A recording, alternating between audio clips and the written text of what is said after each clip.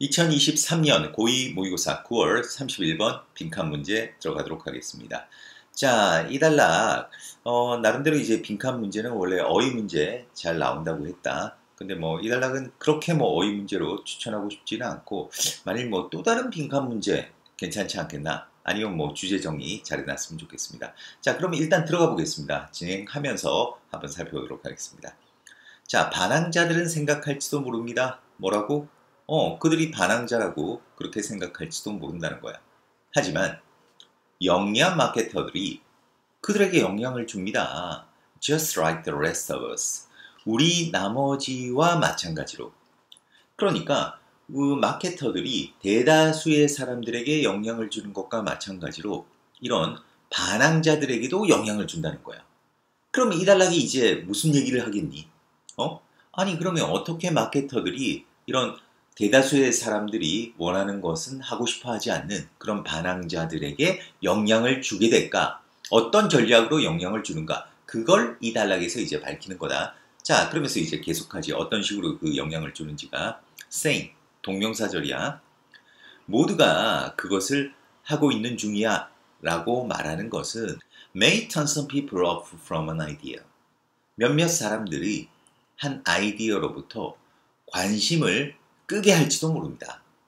자, 이게 무슨 말이니? 야, 대다수의 사람들이 이걸 하고 있어. 이러면 어떤 반항기가 있는 사람들, 반항자인 사람들은 아, 남들이 다 하는 거 나 안 할래. 이렇게 돼 버린다는 거지. 그래서 여기서 이제 몇몇 사람들이 바로 반항자들이 되는 거지. 그러니까 대다수가 하는 일은 반항하는 사람들한테는 정말 흥미가 없는 거야. 자, 그래서 이러한 사람들, 바로 반항 심이 있는 사람들이다. 이런 반항자들, 이런 사람들은 대안을 찾을 것입니다. 대안을. 자, 남들 다 하는 거 말고 남들이 잘 하지 않는 뭔가를 찾는다는 거야. 그 대안을. 그런데 그것은 바로 그 대안을 가리킨다. 자, 가로 안에 얘기를 하면 만약 아주 영리하게 계획이 되어진다면 그 대안들은 can be exactly 정확하게 마케터 또는 설득자가 네가 믿었으면 하고 원하는 것일 수 있습니다. 자, 이게 무슨 말이냐? 어? 자, 사람들한테 그 반항하는 사람들한테 야, 대다수의 사람들이 이걸 좋아해. 이렇게 얘기를 했어. 그러니까 반항하는 사람들은 어, 남들이 이걸 다 한다고? 어, 나 이거 안 할래. 나 다른 식으로 할래. 해 가지고 다른 거를 선택했단 말이야.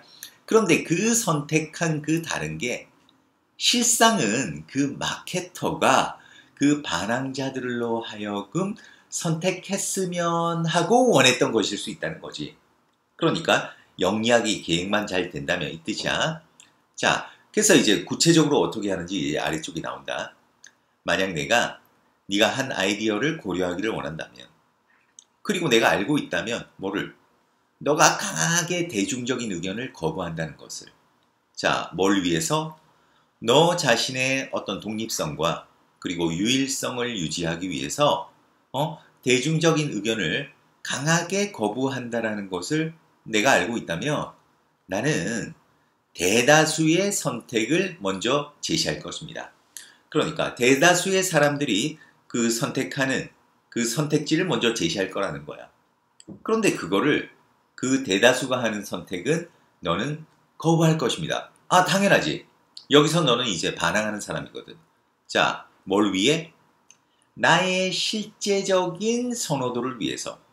자, 여기서 나의 실제적인 선호도가 뭐냐 하면, 그러니까 지금 내가 이제 마케터라고 했을 때, 내가 실제로 너가 이걸 선택했으면 하는 것을 위해서 이 반란, 그 반항하는 사람들이 대다수가 하는 것들은 이제 거부한다는 거죠.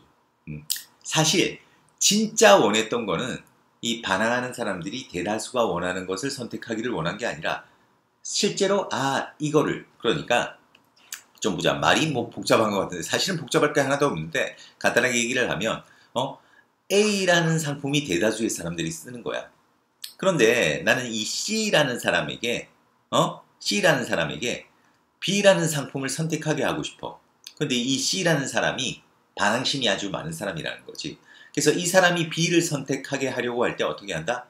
야, 대다수의 사람들은 A를 선택해. 어? 이렇게 하는 거야. 그러면 이 C 같은 반항자의 성향을 가진 사람들은 이걸 더 싫어하는 거야, 이 A를. 아, A는 절대 고르면 안 되겠다 이렇게 된다는 거지. 그래서 A를 고르지 않다 보니까 그 다음에 대안을 찾게 되는데 그 대안으로 있는 B가 실제로 처음부터 이 C가 선택했으면 하는 거라는 거지. 알겠지? 무슨 말인지 알겠지? 지금 그 얘기야. 그래서 우리는 종종 속습니다. 언제? 우리가 어떤 반항의 입장을 유지하려고 했을 때. 그러니까 우리가 사실은 반항의 입장, 나는 이제 대다수의 하는 사람들이 하는 것을 선택하지 않을 거야. 라고 이렇게 막 주장하고 있을 때 의외로 우리가 속는다는 거지. 바로 이런 영리한 마케터들에 의해서 이렇다는 거야. 그래서 사람들은 이러한 블랭크를 사용합니다. 뭐 하기 위해 우리가 독립적으로 한 선택을 고르고 있도록 하기 위해 어떤 선택? 그들의 목적에 그들의 목적에 맞는 어? 그들의 목적에 맞는 그러니까 여기서 이제 그들은 누구니?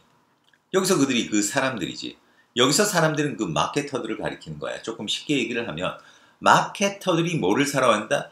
바로 위에서 언급한 방식을 사용하는 거야. 바로 위에서 언급한 방식이 뭐, 뭐겠니? 어? 바로 반전이지 반전. 어, 반전. 실제적으로 반전을 노리는 거지. 응?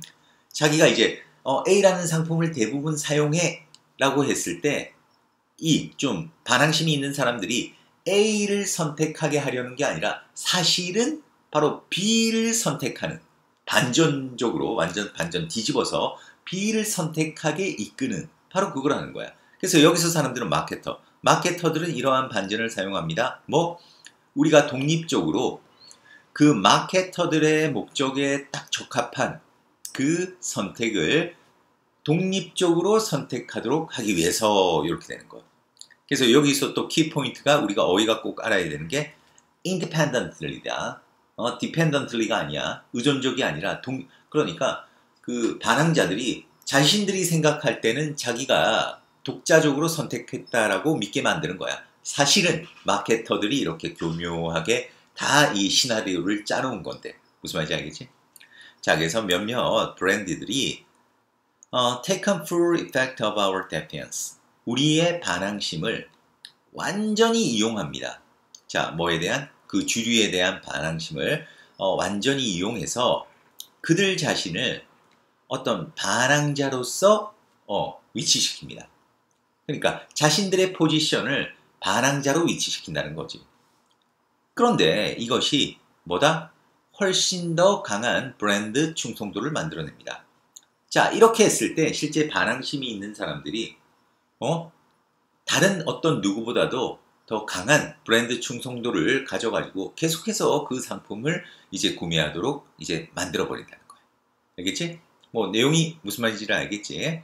자, 그래서 뭐 답은 사실 reversal 여기 반전밖에 될 게 없어. 이거 뭐 다른 것들은 빈칸 문제를 실제로 풀 때 제일 아니다 싶은 거를 소거하는 게 중요해. 여기 보면 뭐 imitation 모방, repetition 반복, conformity 수능, collaboration 협동 뭐 말도 안 되는 거지. 그나마 조금 속이려고 들어오는 게 그 수능이라고 할 수 있는데 여기서 이 사람들이 마케터라는 거를 잘 우리가 이해를 하고 있으면 사람들이 실제 그 소비자가 아니 그 반항하는 사람들이 골랐으면 하는 거를 이제 완전 역으로 뒤집어 가지고 궁극적으로 그 사람들이 원래 그 상품을 구매하도록 만들었잖아. 그러니까 어떤 역발상적인 어떤 마케팅 전략 그게 바로 반전이라고 될 수 있겠지. 자, 그래서 어쨌든 뭐 요거 이제 답은 찾았을 거라고 생각하고 우리 또 내신 공부니까 변형 문제 얘기를 해야 되는데 글쎄 변형 문제로 개인적으로 봤을 때는 어, 빈칸 문제가 제일 낫지 않겠나 이렇게 생각해. 만약 또 다른 빈칸 나온다 그러면 이런 부분 괜찮지 않니? 자, 이러한 사람들이 대안을 찾을 것이다. 이 대안은 어떤 대안이냐? 어, 영리하게 계획되어진다면 정확하게 마케터나 설득자가 당, 여러분이 믿었으면 하고 원하는 것일 수 있는 음, 이런 부분들. 이런 부분이 이제 빈칸에 굉장히 좋지 않겠나 또 생각을 합니다. 자, 그 다음에 어, 아니면 이런 부분들. 너는 거부할 것입니다. 대다수의 선택을. 나의 실제적인 어떤 선호하는 것을 위해서 뭐 이런 부분이라든지 음, 아니면 우리가 종종 속는다. 우리가 어떤 반항에 입장을 유지하려고 했을 때 이런 부분, 어, 이런 부분들 다 빈칸에는 괜찮지 않겠나 그렇게 생각합니다. 아니면 우리가 기본적으로 그 주제는 정리 잘 해놨으면 좋겠습니다. 그래서 뭐 31번을 예를 들어서 주관식으로 나온다. 그럼 어떻게 나올 수 있을까?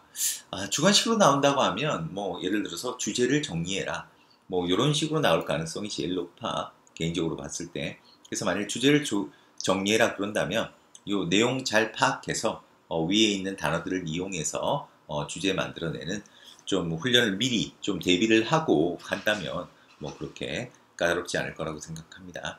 자, 하지만은 개인적으로 봤을 때 어, 주관식 문제 내기로는 그렇게 좋은 문제는 아니지 않나 어, 그렇게 생각을 합니다.